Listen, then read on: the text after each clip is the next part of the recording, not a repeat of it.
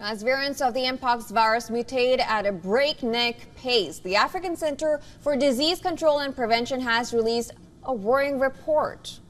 The ACDC has revealed that it has been unable to secure enough funds to curb an outbreak of the deadly infection that the World Health Organization declared to be a global health emergency earlier this month. The next report telling you more.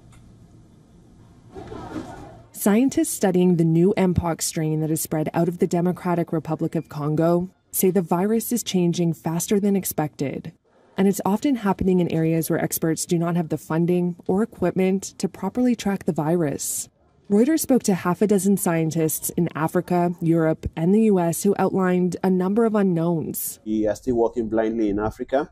Dr. Dimie Ogoina is an infectious diseases expert in Nigeria who chairs the World Health Organization's Mpox Emergency Committee. We don't have uh, the required knowledge about Mpox, natural history, uh, transmission dynamics, uh, risk factors of Mpox. You need to understand your disease for you to develop or design preventive strategies ag- ag- against such a disease.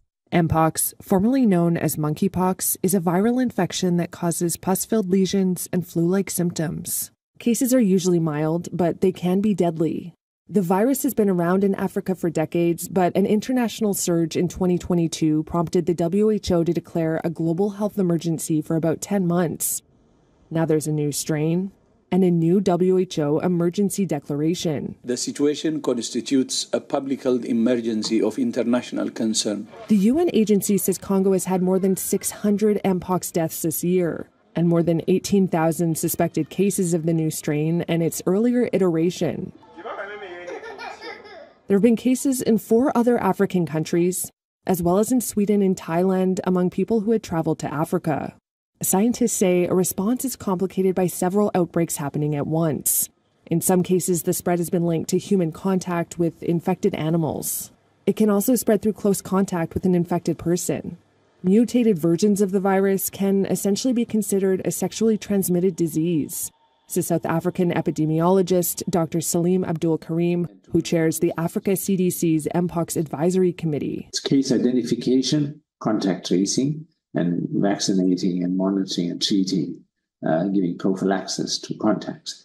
So this is not rocket science. We do this for other infections. And so we can do it for Mpox. An Africa CDC senior official said on Wednesday that the continent has secured less than 10% of an estimated $245 million needed to fight the surging outbreak and there's no timeline yet on when hundreds of thousands of vaccine doses might reach the DRC.